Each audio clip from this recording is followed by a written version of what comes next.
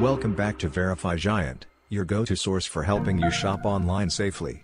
Today we're diving into the Uroczy apartment number 1 in the heart of Gdansk, right on the stunning Wyspy Spichrzów. You might think Uroczy means charming, but let's see if it lives up to its name or is just a pretty face. First up, the location. You can't get more central than this. Just a 10-minute stroll to the old town, which is basically the Disneyland of Gdansk, without the mouse ears.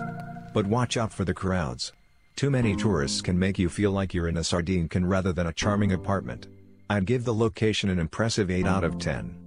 Now, let's talk about the room. It boasts a one-bedroom setup with a king-size bed and a shower that doubles as a water feature, if you forget to close the curtain. Cozy?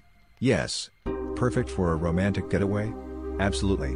Just be prepared for a little less space than you might expect in the 100 square meters they claim. So, I'll give the room quality a 6 out of 10. Amenities?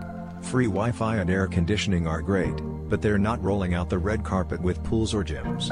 So, amenities score a 5 out of 10. For dining, Gdansk is a foodie's dream, and this apartment doesn't serve meals itself.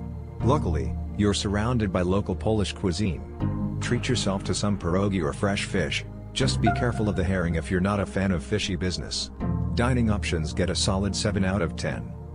Now, what about the staff? Reviews are mixed. Some guests rave about their service, while others say they felt like invisible ghosts. I'd rate them a 5. So here's my final score, location 8, room quality 6, amenities 5, dining 7, staff 5. That averages out to a total score of 31 out of 50. In conclusion, while Uroczy apartment number 1 has its charm, if you're looking for a flawless experience, you might want to keep searching. It's not worth visiting unless you're a fan of minor inconveniences.